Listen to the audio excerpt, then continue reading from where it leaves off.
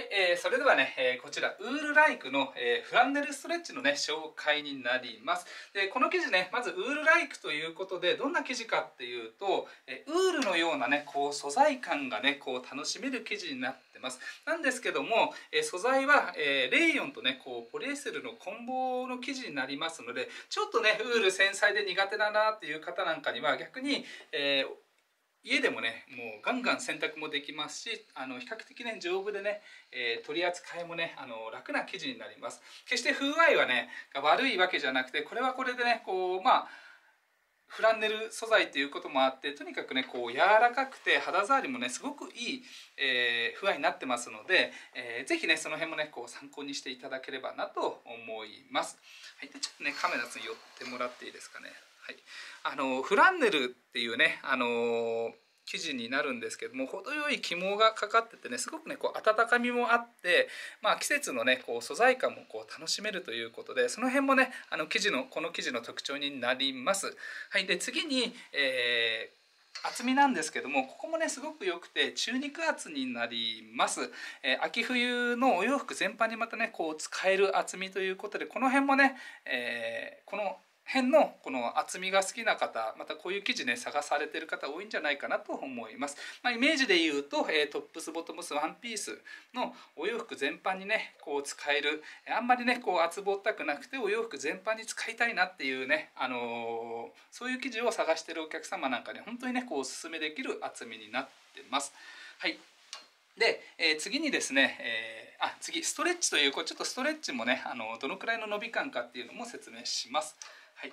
こんな感じですね。これはもう伸びすぎず伸びなさすぎずっていう本当にこうバランスのいい伸び感になります。安定感もあるのでね縫製もねすごくねこうしやすいんじゃないかなと思います。でこれ特徴があって実はねこう縦横伸びるんですよ。こんな感じで見ていただいて分かりますねツーウェイストレッチなんですねただ、えー、ツーウェイストレッチってよくねハイテンションとかでもあるんですけどもあそこまですごくのこう伸びるタイプじゃなくて、えー、程よく全体的にこう伸び感を楽しめるっていうようなねそんなイメージのストレッチになります。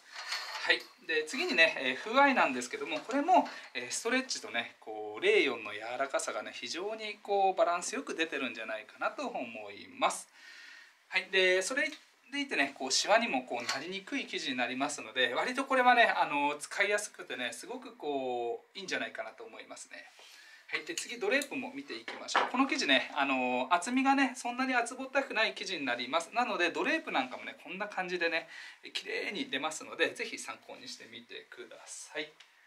はい、で最後に生地幅ですね。130センチ幅になります。洋尺余裕持って使っていただけるタイプとなっております。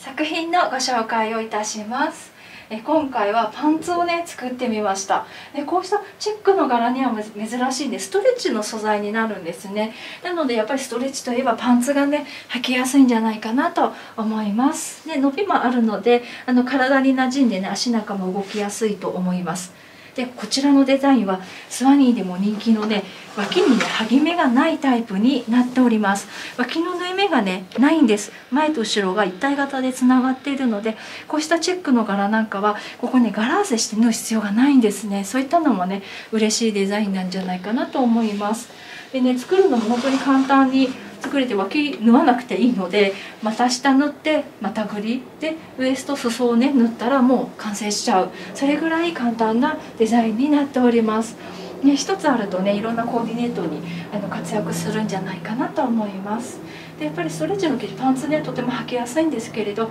パンツ以外にもワンピースとかあのブラウスとかちょっと軽く羽織れるようなこうジャケットみたいなものとかもね着やすく作れるんじゃないかと思います。是非ねストレッチの良さを生かしていろいろなアイテムで作っていただけたらと思います。